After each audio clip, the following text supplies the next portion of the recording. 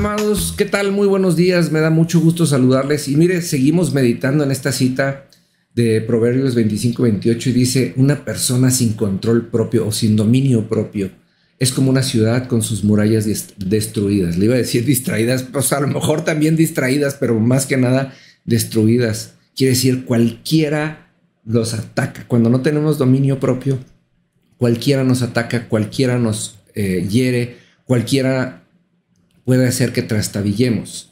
Pero mire, hay veces que pasan las situaciones y, nos, ha, nos ha sucedido.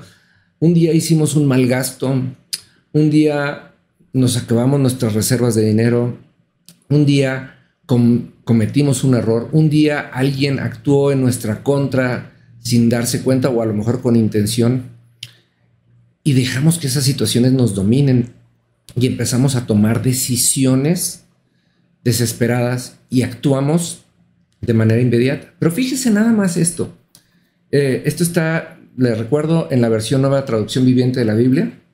Y esto está escrito en la carta a los romanos, en el, en el capítulo 8, en el versículo 28. Y dice, y sabemos que Dios hace que todas las cosas cooperen para el bien de quienes lo aman y son llamados según el propósito que Él tiene para ellos. Mire, lo hemos, y esta es una cita muy malentendida. Mucha gente dice, todas las cosas vienen a bien para los que aman a Cristo. Sí, para los que aman a Cristo. Lo decíamos en el video de ayer. No podemos amar a quien no conocemos.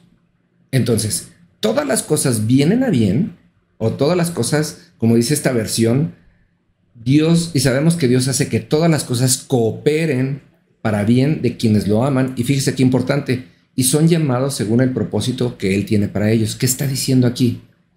Que a las personas que se esfuerzan en conocer a Dios y que se esfuerzan en buscar su propósito en la palabra, no importa lo que les pueda pasar, todo va a ser un escalón para subir. Pareciera un, este, un paso para atrás, pero aquí está diciendo, no, Dios nos va a dar sabiduría, nos va a dar ideas, nos va a dar ahora sí que maneras de entender las cosas, pero sobre todo la instrucción de cómo actuar. Cuando nosotros permitimos que las situaciones que son externas nos sobrevengan, de repente nos pasa que nos descontrolamos y empezamos a actuar de una manera que no tenemos control. Tenemos arranques de ira, arranques de pánico, arranques de miedo, este, qué sé yo, empezamos a hablar mal de otros porque no tenemos el control de lo que sentimos y de lo que pensamos y nos comportamos como esta ciudad que no tiene murallas. Cualquiera nos puede atacar, cualquiera nos puede herir y cualquiera nos puede ofender. Y eso, la verdad, amados, en el corto, en el mediano y el largo plazo nos afecta y nos pone en riesgo. Aquí la palabra dice, ¿sabes qué? Acércate a Dios, conoce su palabra y entienda esto. La palabra de Dios, desde Génesis hasta Apocalipsis, no hace otra cosa más que describir el carácter de Dios. Entonces dice, conoce a Dios para que lo ames y ábrete para que Él te hable. Mire, a mí me ha pasado en, no le puedo decir cuántas ocasiones, en muchísimas ocasiones, que de repente estoy en una situación difícil y tengo dos opciones, el enojarme y, actuar de una manera descabellada o el simplemente buscar a Dios y de repente sabe que Dios empieza a recordarnos citas específicas que hablan que pareciera que es mentira, pero hablan de esta situación y nos enseñan a comportarnos de la manera adecuada.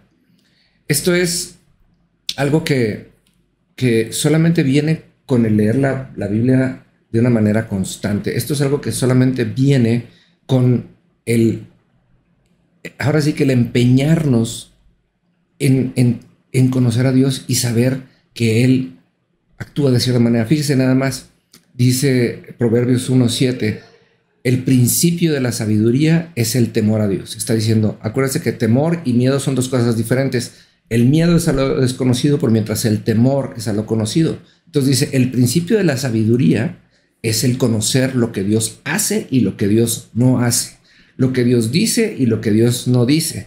Por eso, amados, eh, a mí me encanta cuando Dios va a hacer cosas poderosas, siempre pasa lo mismo. Viene el diablo y nos quiere zarandear, ahora sí que confundiéndonos en la palabra. Le pasó a Eva en el Edén Eva conocía a Dios y Satanás vino y le dijo, ah, así que no puedes comer de, ningún árbol del, huerto. Y entonces Eva dice, no, espérame, sí podemos comer de todos, nomás de este no, pero ya había caído y empezó, con empezó en una conversación emocional y terminó comiendo el fruto y Adán terminó comiendo el fruto.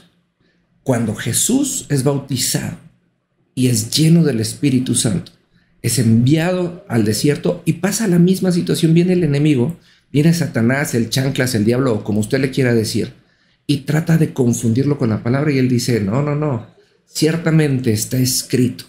Y entonces él recuerda la palabra tal como es y con eso domina su emoción. ¿Qué quiere decir esto? Las cosas que Satanás estaba tratando de hacer en la vida de Jesús le vinieron a bien porque lo fortalecieron aún más y lo llevaron a su propósito. Así nos debe de pasar a usted y a mí. Tenemos que tener tal conocimiento de la palabra y del carácter de Dios de manera que ninguna emoción nos sobrepase y que ninguna emoción nos haga actuar de manera incorrecta. Se lo dejo de tarea, nos vemos el día de mañana. Que Dios le bendiga.